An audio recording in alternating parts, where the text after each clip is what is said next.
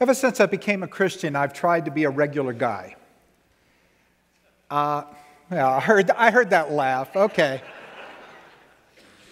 but it is true that uh, I'm not the sort of person that believes a Christian should uh, look different. You know, I mean, I have a respect for the Amish people, but I just don't think it's the right track that we wear a hat and have a particular uniform, and that identifies us as Christian people.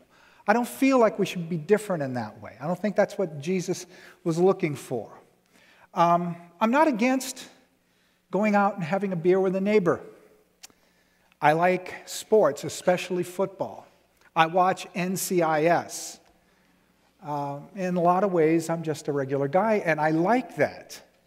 I, I value that.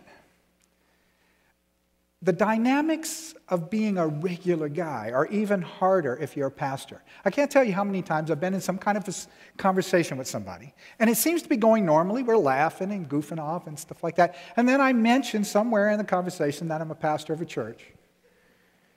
And all of a sudden, I can see their eyes kind of start moving back and forth. What have I been saying? Did I say anything about sex or God? Have I cussed? You know? And soon after, in the conversation somewhere, well, you know, I'm, I'm a spiritual person. I don't go to church, but I'm a spiritual person. Now, I was in church last Christmas. Uh, so it happens all the time. So there's so many very real barriers out there that I don't want to create a new one. And maybe you think that way as well. You want to fit in. And, and you don't want people to think that because you're a Christian, you're prickly, you know, and no fun to be with. You don't want to have a holier than thou attitude. And in that, I'm with you. But one of the disturbing things from today's text in the book of Revelation is that we have to be different. We can't be just like the people around us. And that's the challenge we're going to have to face today. We're in week two of a three week series on seven messages to seven churches in the book of Revelation. And there's so much material in these two chapters that we're looking at that we can't possibly deal with it all in the sermon itself. So we've given you a handout. We gave it out last week. We've given it to you again this week to give you historical background on the cities. You can do study on your own if there's something here that particularly resonates with you. But we have, there's only so much we can do as we actually present this in the sermons. As we pointed out last week, these seven messages have some commonalities to them. They're similar in many ways. First of all, they're all, uh, the message is given to the angel of a particular church. That's who it's addressed to. Now, there are angels associated with nations, angels associated with people, and it seems that there are also angels associated with churches, heavenly beings. Don't know anything really about that. But what is clear also is that even though it's addressed to the angel, the message itself is to the people in the churches because all of the commands, all of the grammatical structure there is plural.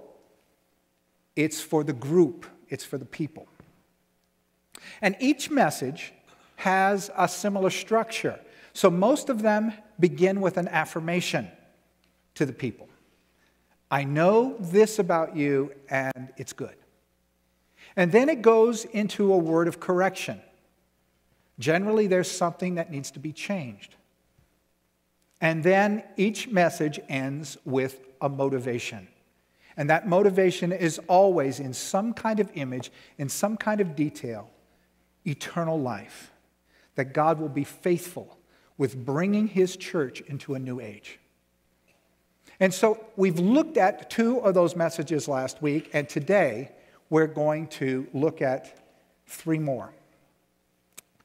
Now, the passage I'm going to read right now is a little bit long, so sit back, engage your imagination, let the images speak to you, and also listen for the affirmation, the correction, and the motivation in each passage. I'm going to be in Revelation chapter 2, and I'm going to begin at verse 12. That's on page 1126 of the Bibles here in church. Let's pray. Lord, help us hear your word. Help us listen, speak to us through your Holy Spirit. Help us respond. For we ask it in Jesus' name. Amen. To the angel of the church in Pergamum, write These are the words of him who has the sharp, double edged sword. I know where you live, where Satan has his throne, yet you remain true to my name. You did not renounce your faith in me, not even in the days of Antipas, my faithful witness, who was put out, who was put to death in your city, where Satan lives. Nevertheless, I have a few things against you. There are some among you who hold to the of, teaching of Balaam, who taught Balak to entice the Israelites to sin, so that they ate food sacrificed to idols and committed sexual immorality. Likewise, you also have those who hold to the teachings of the Nicolaitans. Repent, therefore. Otherwise, I will soon come to you and will fight against them with the sword of my mouth. Whoever has ears, let him hear what the Spirit says to the churches. To those who are victorious, I will give some hidden manna. I will also give each of them a white stone with a new name written on it, known only to the one who receives it. To the angel of the church in Thyatira, write These are the words of the Son of God, whose eyes are like a blazing fire and whose feet are like burnished bronze. I know your deeds your love and faith, your service and perseverance, and that you are now doing more than you did at first. Nevertheless, I have this against you. You tolerate that woman Jezebel, who calls herself a prophet. By her teaching, she misleads my servants into sexual immorality and the eating of food sacrificed to idols. I have given her time to repent of her immorality, but she is unwilling, so I will cast her on a bed of suffering. And I will make those who commit adultery with her suffer intensely, unless they repent of her ways. I will strike her children dead. Then all the churches will know that I am he who searches hearts and minds, and I will repay each of you according to your deeds. Now I say to the rest of you in Thyatira, to you who do not hold to our teachings and have not learned Satan's so called deep secrets. I will not impose any other burden on you except hold on to what you have until I come. To those who are victorious and do my will to the end, I will give authority over the nations. They will rule them with an iron scepter and will dash them to pieces like pottery, just as I have received authority from my Father. I will also give them the morning star. Whoever has ears, let them hear what the Spirit says to the churches. To the church in Sardis, to the angel of the church in Sardis, write These are the words of him who holds the seventh Spirit of God and the seven stars. I know your deeds. You have a reputation of being alive, but you are dead. Wake up Strengthen what remains and is about to die, for I have found your deeds unfinished in the sight of my God. Remember, therefore, what you have received and heard, hold it fast and repent. But if you do not wake up, I will come like a thief, and you will not know at what time I will come to you. Yet you have a few people in Sardis who have not soiled their clothes. They will walk with me dressed in white, for they are worthy. Those who are victorious will, like them, be dressed in white. I will never blot out their names from the book of life, but will acknowledge their names before my Father and his angels. Whoever has ears, let them hear what the Spirit says to the churches. In today's passage, we have three messages going out to three churches, and we can't deal with each one separately. So I'm going to deal with the first two together, and then at the end of the sermon, we'll take a look at the third church before we close. The first church message goes out to the church in Pergamum. I'm going to talk about Pergamum and not so much about Thyatira. Thyatira isn't as interesting a city, and if you want to study more on that eh, on your own, you've got the sheet and you've got Bible dictionaries and a library here at church and the internet. There's plenty to learn. Pergamum was located in what we now call Turkey. And Jesus promises that Jesus begins his message to them by describing himself as the one with the sharp, double edged sword.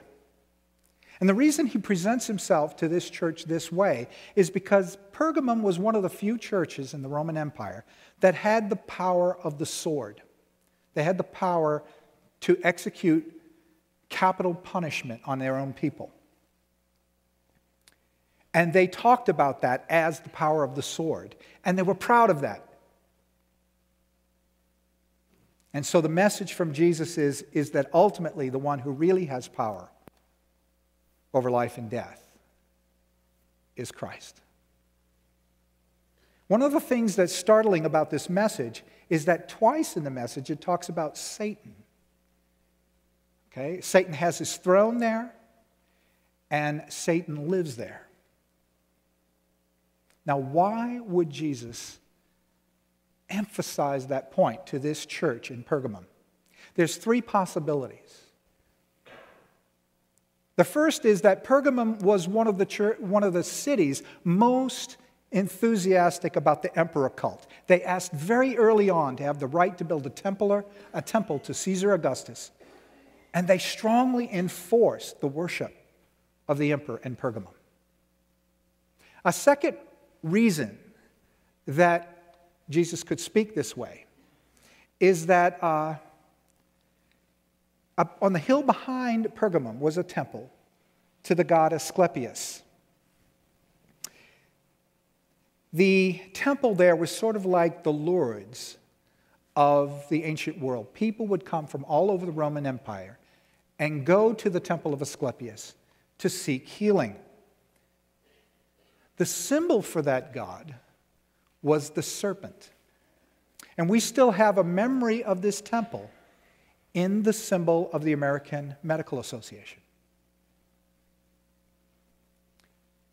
So maybe it's that serpent God that's in mind.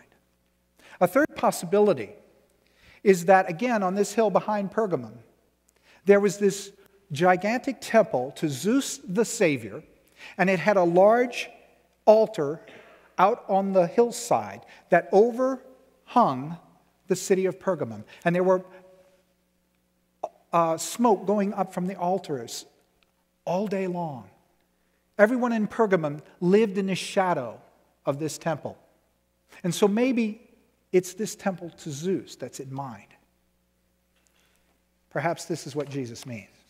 In any case, the church in Pergamum and the church in Thyatira stood up against these outside pressures to walk into these other religions Verse 13 of chapter 2 says this I know where you live, where Satan has his throne, yet you remain true to my name. Verse 19, talking about Thyatira. I know your deeds, your faith, your love, your service, and perseverance, and that you're now doing more than you did at first. They're faithful against these pressures.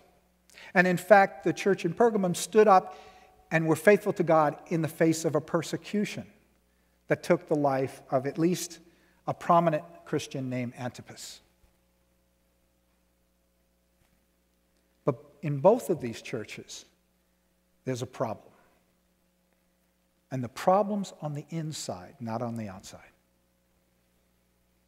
Three groups are mentioned in these two churches the group of Balaam, the Nicolaitans, and the group that centers on a prophetess named Jezebel. They may have been very different groups in the, what they taught or their, uh, their thinking about many things, but their impact on the church was very similar. In fact, the first two groups, Balaam and Nicolaitan, the names mean the same thing. Balaam means the Lord or conqueror of the people, Baalim. Nicholas means the same thing the Lord or conqueror of the people. So these two groups had the same names, but in two different languages. And Jezebel was probably not actually the real name of the prophetess, it's a referral to an Old Testament queen of Israel who led the nation into false religion, into idolatry, and into all kinds of immorality. And so, what links the three groups is that they lead to eating food sacrificed to idols and to sexual immorality. All three groups lead in that direction. That's the internal danger. And to get some perspective on that, we need to kind of go and take a look at some things that happen in the Old Testament.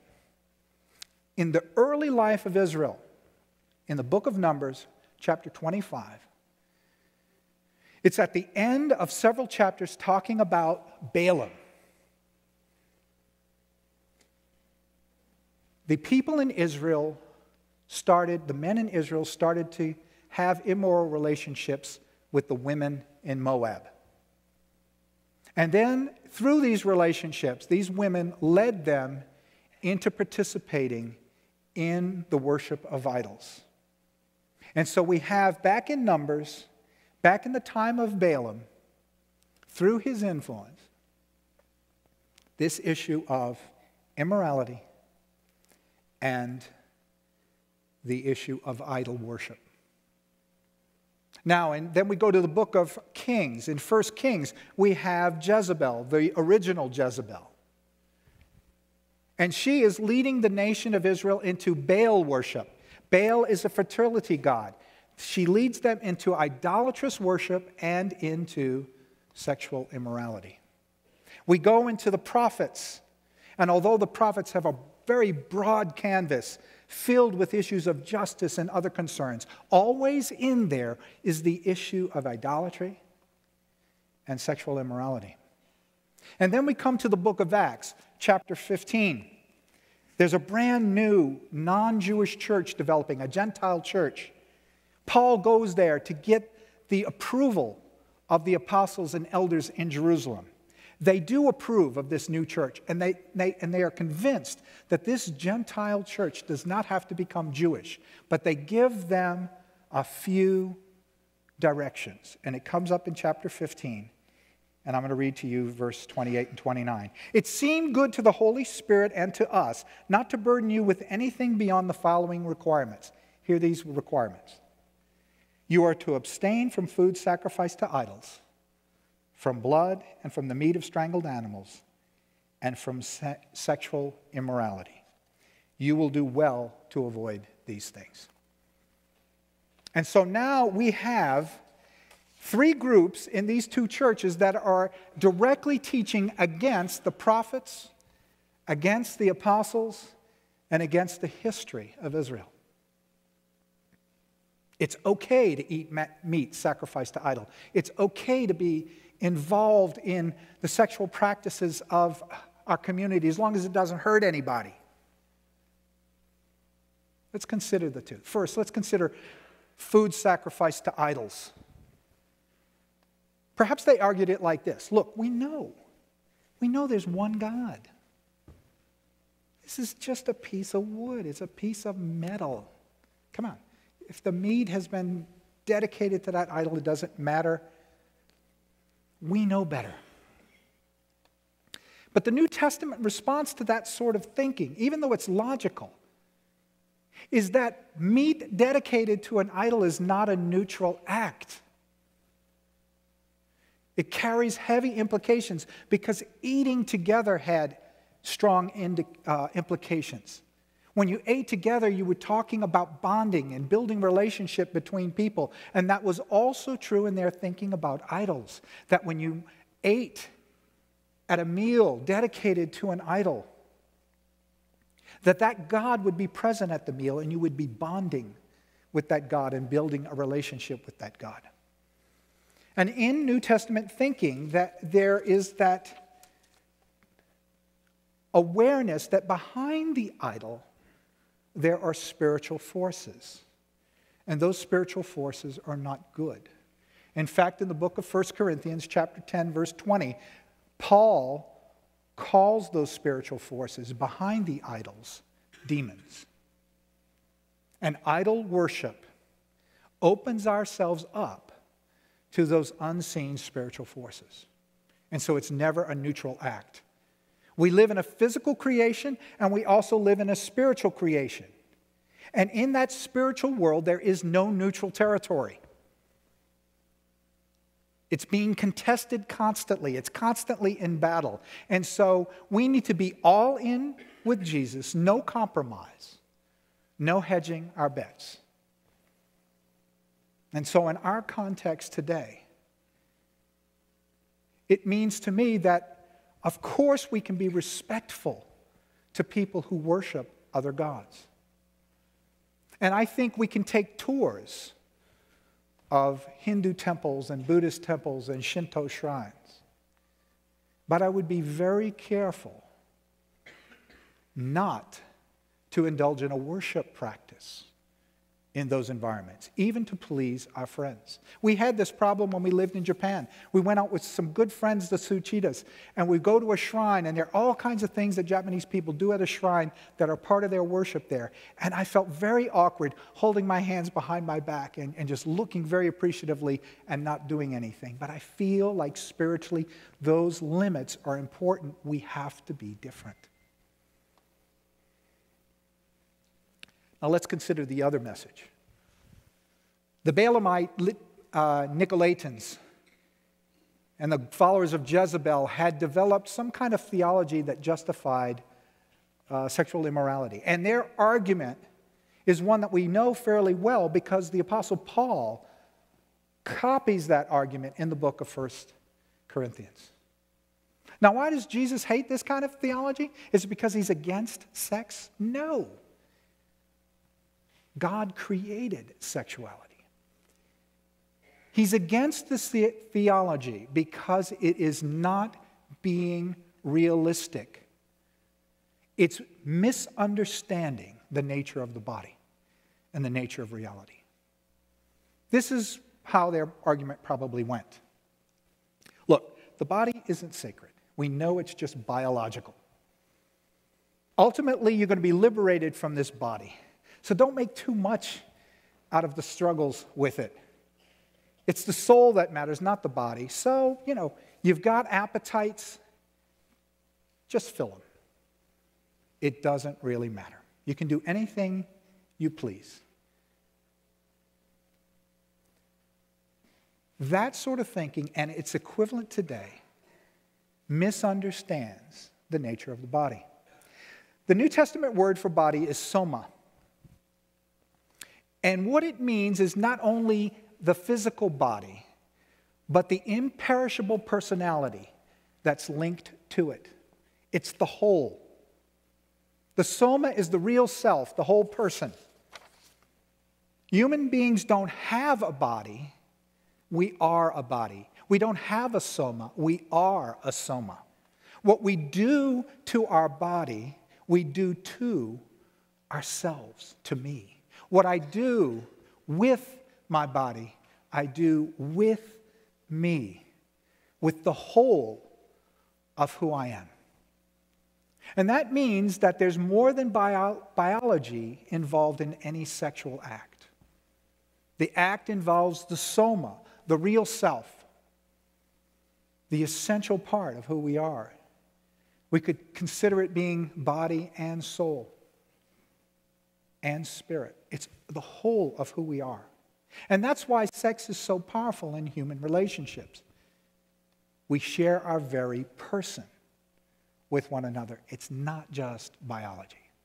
Because of that, Lewis Smedes, a Christian author and ethics teacher, says this There's no such thing as casual sex, no matter how casual people are about it. The Christian assaults reality in his night out at the brothel. Nobody can go to bed with someone and leave his soul parked outside. The demand for self restraint is not a killjoy rule plastered on the abundant life by anti sexual saints. it is respect for reality. The moral law fits the inner reality of sex. And that is why Jesus opposes this teaching, is because it opposes reality about the way we work. And so he grieves over that. And so I've got to ask the question of us do we grieve? Or instead, are we indifferent? We need to reject the spirit of compromise regarding the way we handle our sexuality. We're watching TV, and there's a spot in the plot where two people go into a bedroom to have casual sex, and the music changes.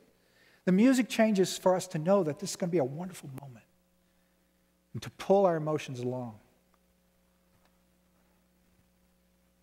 And at that point, we have to be different. That's what holy means. Holy means to be separate, to be different. And we have to be different here, not because sex is bad, but because it's so good and it's so powerful. And the reality is, in life, statistically, over and over again, in relationship after relationship, there is a very real possibility that that night is going to do more damage than good across the lifetime of a person. We need to be different when we're staying in a hotel. We've been working real hard all day. We come in exhausted, tired. We want to relax. Will we be faithful to our marriages? Will we be faithful to the nature of reality and the way we handle our eyes, our minds, our bodies at moments like that?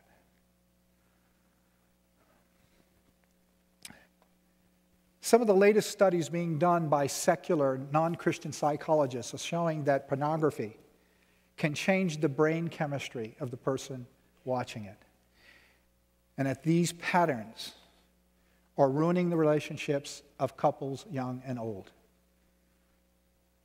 And they don't argue this on moral grounds.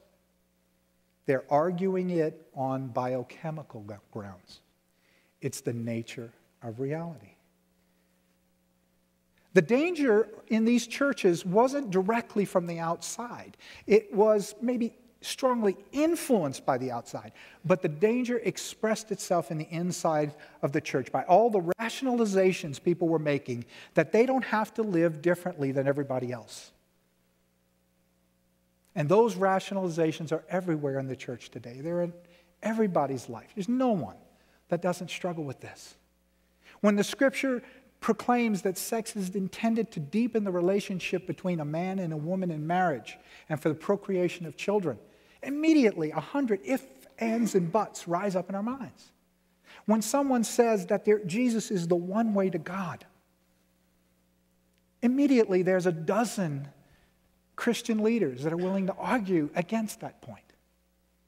The danger is from the inside, not just from the outside. And we need to make a firm decision in our personal lives and in our life together as a congregation that we are going to let the scriptures define what the moral life, what the fully human life is supposed to be life, and not our culture. And that's going to be defined as we get deeper and deeper into Scripture. And that's one of the core values of Central Presbyterian Church is to clearly proclaim the scripture and Jesus Christ. And it's a battle, folks. It's a battle in my heart and in everyone's. That brings us to the final church, the church in Sardis. What makes this church different than the other two is that when Jesus begins his message, there is no affirmation. He cannot affirm this church because they're dead.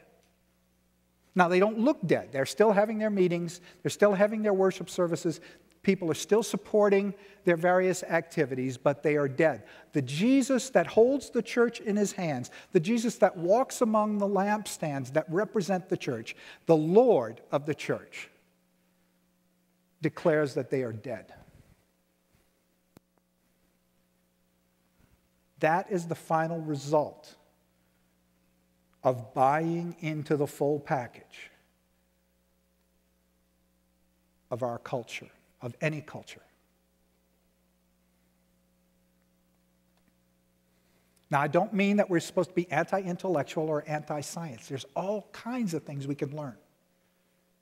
We need to treat those things seriously. I'm talking, though, about values, about lifestyle, about morality. When we've come to the point that we explain away the morality of the Bible and say we can live just like everybody else and there's no problem, we have a problem. We're in danger of spiritual death. I've shared with some of you before that when we were missionaries on the field, one of the things we discovered at one point is that there were some other missionaries on the field that would study the Bible with a black magic marker in their hands.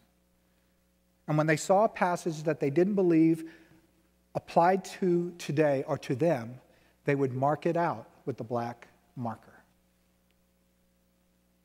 When we do something like that consciously or unconsciously, we're in danger. The call for all three churches is to hold on to the essential things that came with the gospel. And actually, the essential things predate the birth of the church. It's been characteristic of the relationship of God's people to God from the very first things we see in recorded history. What we see in the scriptures is that always the characteristics are is that there is one God this God will save us, and to follow him will demand a change in us. And so we are going to end up being different. This is always there from the very start of what we see in the book of Genesis, all the way to the book of Revelation.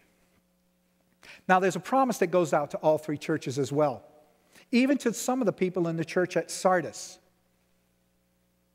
And the promises all circle around eternal life. The, it, it, circles around the fact that Jesus is going to own us before God. He's not going to deny us. He's going to say, These people are mine. To the people who hold on, who overcome, who are victorious.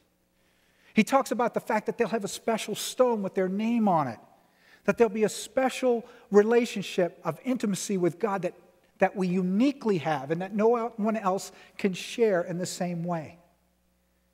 And it talks about authority being given to us, that just as Jesus has received authority, he passes on that authority to his church. And that will be part of our future as well. These are all rich ways of saying essentially one thing to those churches and to us hold on. Hold on to what is essential. Be different. Your future is rich. Your future is with me. And your future is secure.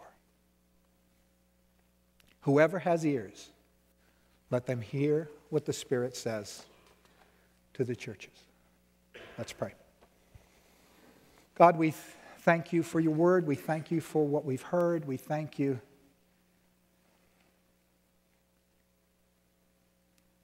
We thank you that even though you have very high standards, that your grace is rich and secure, and you reach out again and again.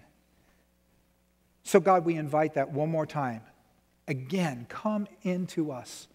Give us soft hearts and a desire to please you. For we ask it in Jesus' name. Amen.